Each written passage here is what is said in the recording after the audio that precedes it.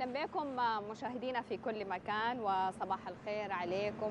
صباح أخضر وصباح يوم الاثنين. بنجدد معاكم اللقاء وموعدنا الصباحي أكيد بكل البراحات وبكل اشراقات شمس جديد بنتنفس فيه استنشاق كل الهواء الجميل والطقس. حتى لو كانت في شوية كده تراتيب الحياة يعني من قطوعات تيار كهربائي أو خلافة من الأشياء لكن يبقى المزاج والمود عالي جدا. جايينكم بكل الأمل وبكل الإشراق والتفاؤل والحاجات الإيجابية كلها عبر صباح يوم الاثنين. زي ما تعودنا دائما نفتح ملفات ونفتح قضايا خطيرة جدا.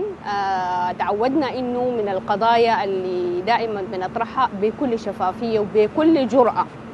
وابدا ما نخلي أي حاجة في القضايا اللي بنطرحها في كل زواياها. نسمع الرأي والرأي الآخر ورأي الشارع وأكيد من الآراء. موضوعنا اليوم صراحة اجتماعي بحت. دايرين نشوف الأسباب والمسببات الحقيقية لقضية اليوم أو موضوع اليوم. صراحة بقى ظاهرة ومنتشرة جدا وللأسف الشديد يعني المجتمع السوداني هو مجتمع محافظ وملتزم بالعادات والتقاليد والأعراف لكن مؤخرا بنقول بعض وليس الكل عشان الناس تفهمنا صح. بعض من المجتمع السوداني يعني بيمارسوا الظاهرة دي. والظاهرة دي أول قضية اللي حنتكلم عنها الليلة اللي هي الخيانة الزوجية. خيانة الزوجية يعني حتكون فيها برضو راية الدين وحنعرف راي الدين في الخيانة الزوجية إنه الزوج يخون زوجته أو الزوجة تخون زوجها أو الاثنين هم بيخونوا أي واحد بيخون في الثاني. وأكيد كما تدين تدان يعني إذا هو خان زوجته فبالتأكيد زوجته حتخونه. يعني دي ما في اثنين ثلاثة. والطيبون للطيبات والخبيثون للخبيثات. يعني ده كلام ربنا سبحانه وتعالى المنزل. فيبقى شايفين الظاهرة دي أصبحت موجودة وخطيرة جدا في المجتمع السوداني على مسمع وعلى مرأة. بقينا نشوفها في كل مكان. أنت ممكن آه أنت تشوفها بتشوف آه مظاهر من الخيانة الزوجية. على فكرة الخيانة الزوجية دي ما شرط إنه الناس آه تكون يعني زي ما بقولوا علاقة بالكامل.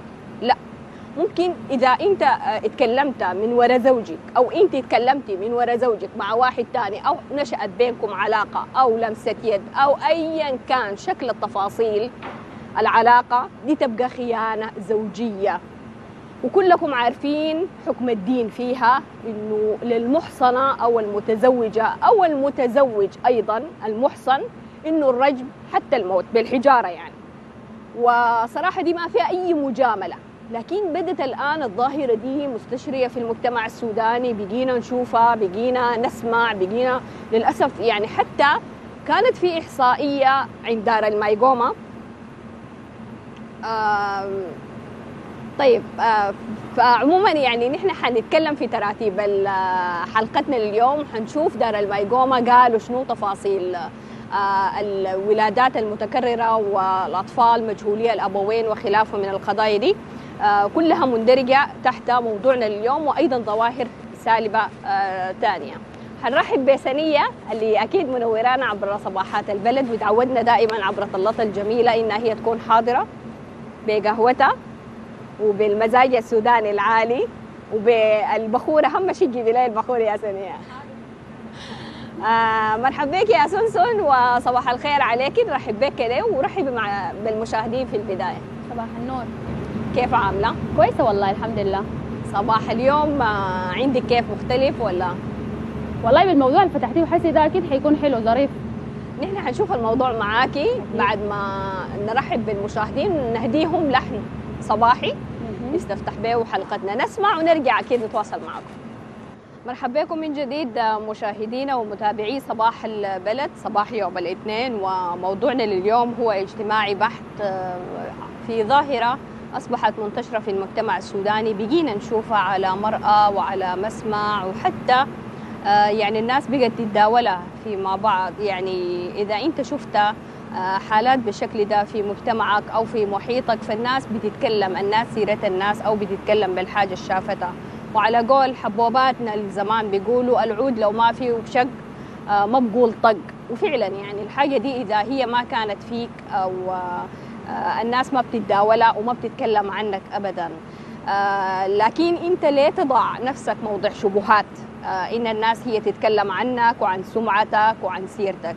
فبعتقد إنه ما في آه، يعني آه، يعني شيء بيهين المرأة قدر ما إنه سمعتها تكون سيئة أو هي صاحبة. سمعة سيئة بين الناس أو الناس تعرفها بإن هي آه، في علاقات مشبوهة وإن هي عندها زوجها عندها آه، يعني اللي بيعولها وأحيانا في متزوجات للأسف الشديد عندهم أبناء وبيخونوا أزواجهم.